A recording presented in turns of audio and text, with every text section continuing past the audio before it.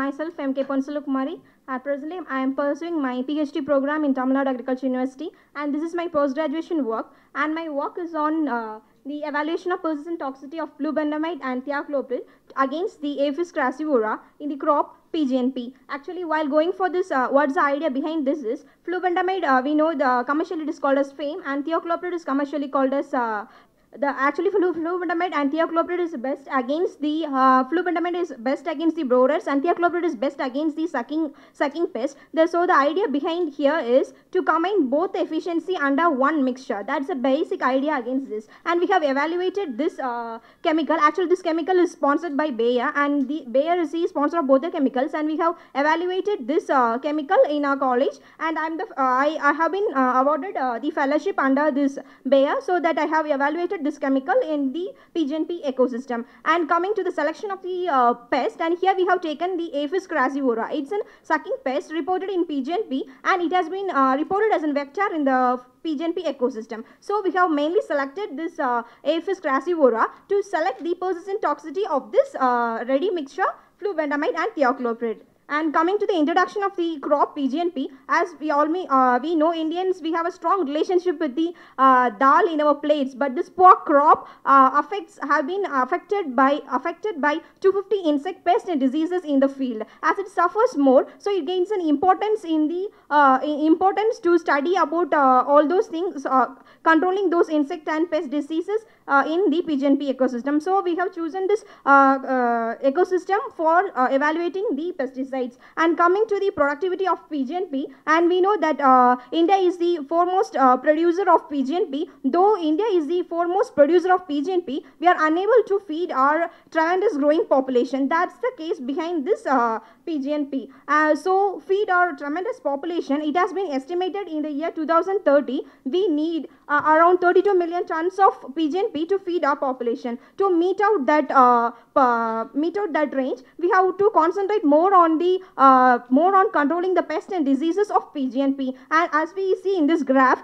uh, to meet out these uh, uh, meet out the uh, availability of this um, dal and all. Uh, we Indians, uh, we procure uh, the pigeon pea, we actually import from the countries like Myanmar, Canada, Australia, and the major import is from Canada. We share, uh, we get about 46% of pigeon pea from Canada to meet out our uh, population, uh, to feed our population. This is the case under this pigeon pea. So it becomes a major important to control the pest, all these diseases to have this pigeon pea. And uh, coming to the uh, pesticide uh, both the chemicals uh, the chemicals is uh, both the chemicals are nerve poisons. And the first flubendomide comes under the phthalic acid diamide. And second comes a neonicotinoid. Both are nerve poisons actually. And uh, they affect the synaptic acid transmission. Under this study i have uh, taken the method of clip on cage method for uh, this person toxicity study. And uh, this uh, clip-on cage is nothing but an uh, capsule. Uh, it actually a B, vitamin uh, b complex uh, capsule. That capsule we have taken and uh, these are the measurements of the blister plaques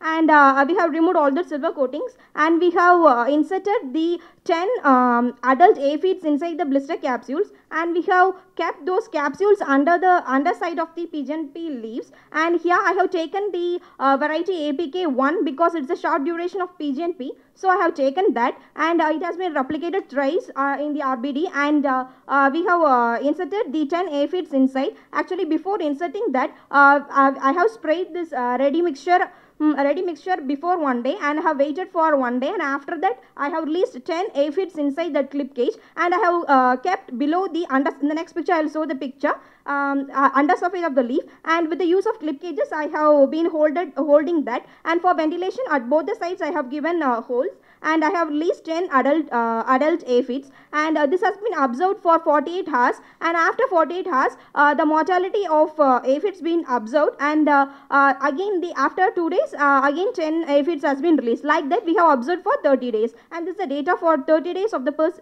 persistence of this ready mixture chemical and here you can see the experimental setup of this uh, persist uh, study and as I said earlier uh, you can see that clip cage uh, under the under surface of the leaf and you can also see the released aphids uh, inside the clip cage, clip-on cage. And it is a setup which is kept in the greenhouse of uh, Tamil Nadu Agriculture University. And uh, this is the APK, uh, APK1 variety as I said earlier. And the formula used here is the persistent toxicity index I have mentioned above. And this is the formula actually used for calculating this persist persistent toxicity. And this is the setup actually. And coming to the uh, result of my work is and this is the actual dose I have taken uh, taken for uh, spraying. And these are my treatments. And among the treatments and we have taken uh, the standard flubendiamide and thiacloprid also separately to check the um, uh, efficiency with the um, ready mixture. And here in this study we, you can see in this graph also the T4 treatment is the uh, higher dose of the uh, chemical uh, ready mixture uh, as I have taken. And you can see it has it has been persisted for 29 days. As the 27 uh, days uh, is, is being contributed by the flubendiamide standard check uh, even though it has been uh, correlated with the uh, standard comparing with all the results and the safety studies conducted uh, we recommend that uh, the uh, middle dose of uh, the ready mixture is the safest one among the all chemicals and uh, this is the uh, dosage about all the uh, the chemicals have been taken. Next one and coming to the discussion uh, result and discussion of my slide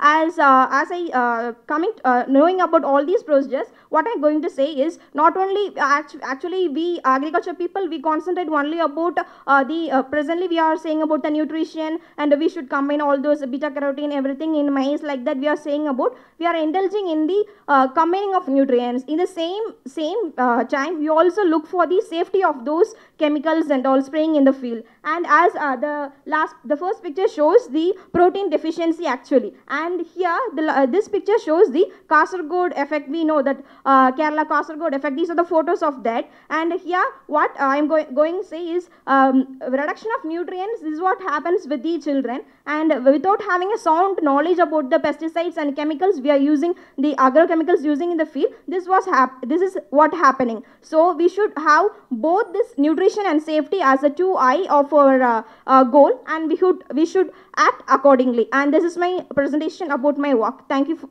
all